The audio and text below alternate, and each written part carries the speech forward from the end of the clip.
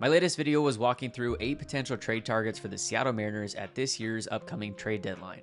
Today I'm doubling down on one player in specific and stating that if the Mariners go out and acquire Angels utility infielder Luis Rengifo, every other acquisition on top would be icing on the cake. And here is why. The Mariners' most glaring issue so far this year is on the offensive side of the ball and specifically their strikeout rate.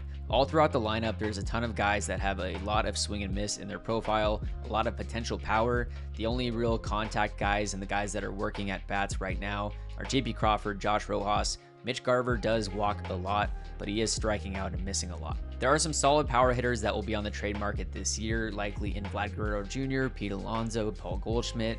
But in my opinion, the Mariners don't need more power. They need someone that is consistently making contact with the ball, getting on base, and that is switch hitter Luis Rengifo. Luis Rengifo so far this year is batting 311 with a 358 on base percentage, a 430 slug, which is a 787 OPS. He has a 123 OPS plus, meaning that overall at the plate he's been about 23% better than the average league hitter. His strikeout rate so far this year is in the 92nd percentile in all of baseball at a 13.9% strikeout rate. If the Mariners were to acquire Luis Rengifo, he would immediately be leading the team in batting average, on base percentage, slug, OPS, stolen bases, and he would also have the best strikeout rate on the team. His baseball savant page is full of the color that you don't like to see, which is blue, but that's because his profile is very different than a lot of guys.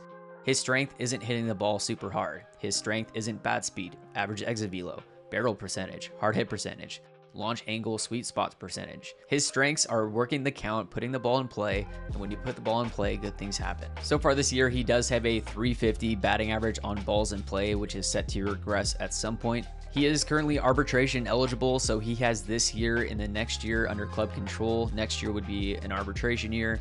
After that, he would become a free agent. Looking at his platoon split so far this year versus right handed pitching, so as a left handed hitter, he has 162 plate appearances, a 282 batting average, 335 on base percentage, 718 OPS. And versus left handed pitching, so as a right handed hitter, he has 46 plate appearances on the year, a 409 batting average, a 435 on base percentage, a 1.026 OPS. So far this year, he's played 21 games at second base, 27 games at third base, one game at shortstop. He hasn't played in the outfield so far this year, but in years prior, he has. So the Mariners could always throw him out in the outfield if they just need to find a way to put him in the lineup. Luis Rengifo has been batting second for the Angels so far this year, and he should be batting second for the Seattle Mariners.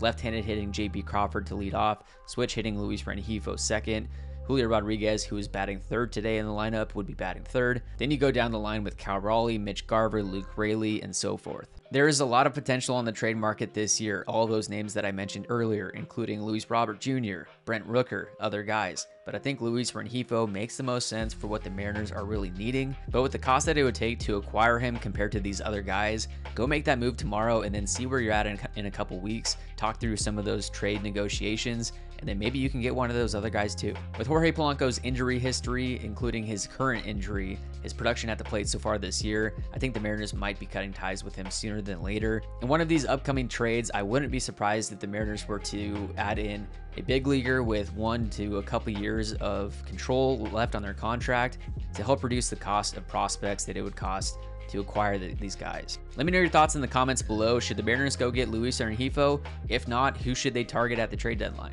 Otherwise, to learn more about some of the other Mariners trade targets, go check out this video right here.